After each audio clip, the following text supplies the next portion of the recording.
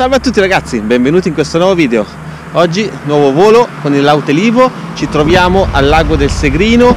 Avevo già fatto un video in questo posto con il Mavic Air. Ho deciso adesso di farne uno sempre in questa location con l'Autelivo.